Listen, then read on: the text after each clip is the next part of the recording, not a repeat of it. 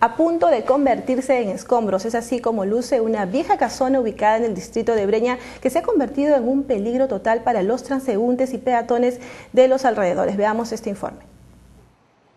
Esta vieja casona está a punto de colapsar. Sus estructuras ya no soportan el paso de los años. Los vecinos de los alrededores viven con el corazón en la mano, esperando se tomen cartas en el asunto. Nos encontramos en la primera cuadra de la avenida Arica. Aquí, como ustedes pueden ver, este inmueble está a punto de colapsar. Sin embargo, las autoridades del Instituto Nacional de Cultura hacen caso omiso a las exigencias de los vecinos de los alrededores del distrito de Breña. Ante la inoperancia de las autoridades, JN19 entrevistó al alcalde de Breña, José Gordillo, buscando una respuesta ante esta denuncia que podría desencadenarse en una tragedia. De que no puede hacer trabajo manual porque se derrumba. ¿Qué ha previsto hacer la municipalidad?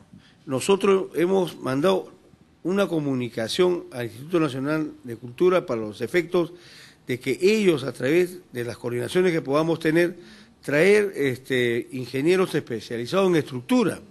Este problema no, no, no, data del 14, este problema viene de atrás, de la gestión pasada. Inclusive yo he ingresado el 1 de enero de 2007, pero hasta la fecha el Instituto Nacional de Cultura eh, solamente brilla por su ausencia.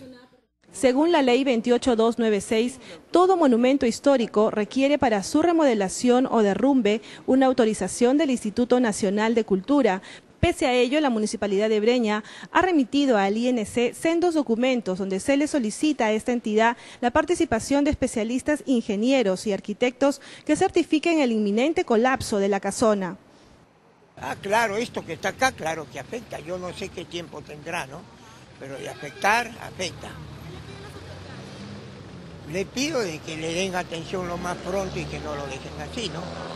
Hasta el momento, el Instituto Nacional de Cultura solo ha autorizado la utilización de implementos manuales para limpiar el desmonte del segundo nivel, mas no autorizó la utilización de maquinaria pesada, hecho que hace más lenta la demolición de esta casona.